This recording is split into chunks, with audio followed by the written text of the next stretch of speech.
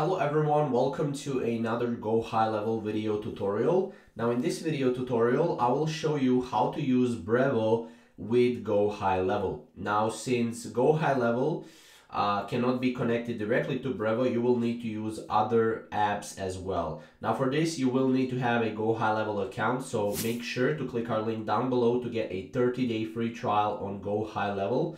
And let's get started. So Obviously, as I uh, said, you cannot actually connect or integrate Go High Level with Brevo directly, so you want to do it indirectly. So you have a couple of options, right? You can use Echo uh, or Acho. Uh, so basically with Acho, you can actually go and you can load data from Brevo to Go High Level. So this is one way of doing it, right?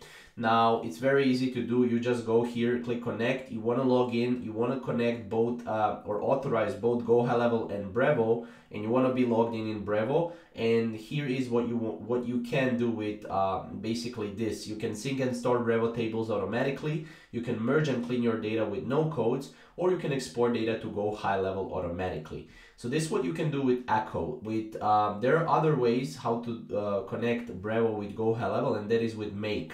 So for example, you can connect Brevo and high level lead connector integrations. So as you can see, connect Brevo and high level lead connector with any of your favorite apps in just a few clicks. Not only that, you can connect Brevo and high level together with this app as well.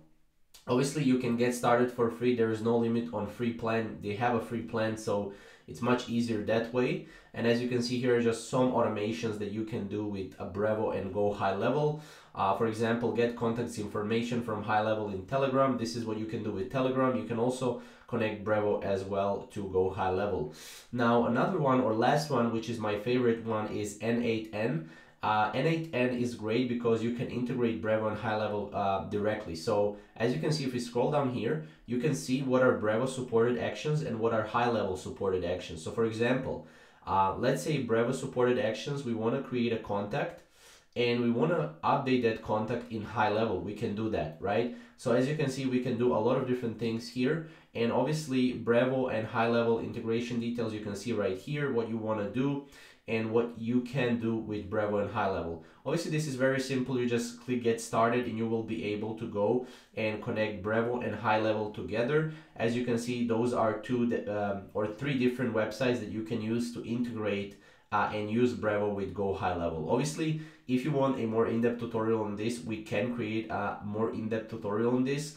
However, this is very easy to set up because obviously you just need to get started, authorize those two, and you will be able to integrate Brevo with Go High Level. So hopefully you guys enjoyed the video. Hopefully you find it useful. If you have any questions or comments, comment down below and get a 30 day free trial with a link down below in the description on Go High Level. Thank you guys for watching.